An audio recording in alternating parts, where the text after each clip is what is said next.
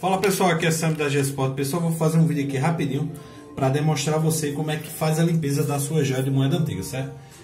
Pessoal, é natural a joia de moeda antiga oxidar por causa da liga do bronze que há na peça. Por isso, ela escurece. Tem pessoas que demoram um pouco, outras não. Depende do ácido úrico do organismo de cada pessoa, certo?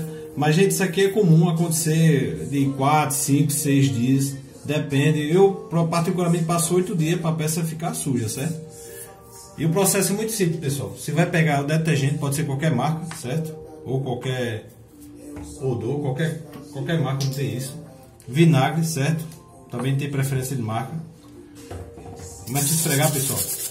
É um processo muito rápido, acho que não dá nem um minuto.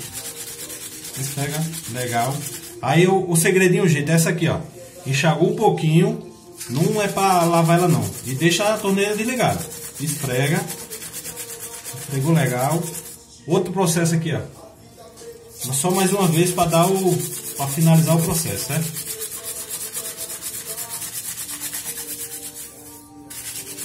Pronto.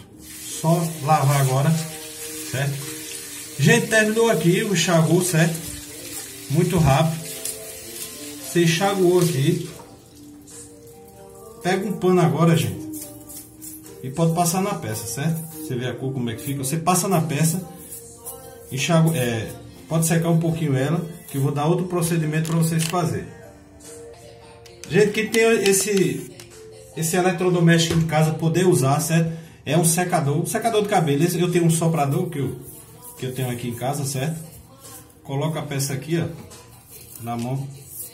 Aí você pode dar um soprinho nela. Por que isso, gente? Dá mais um brilho a mais na peça, certo? Mas é opcional. Você faça isso se quiser. Pode secar no pano normal ou se não coloca na frente do ventilador até ela secar bem. É só para tirar, para não ficar a marca da água, certo? Fez isso aqui, gente. A peça fica linda. Olha o brilho. Olha a diferença. Toda vez que for necessário fazer a limpeza, gente, é só fazer que realça o brilho na peça novamente.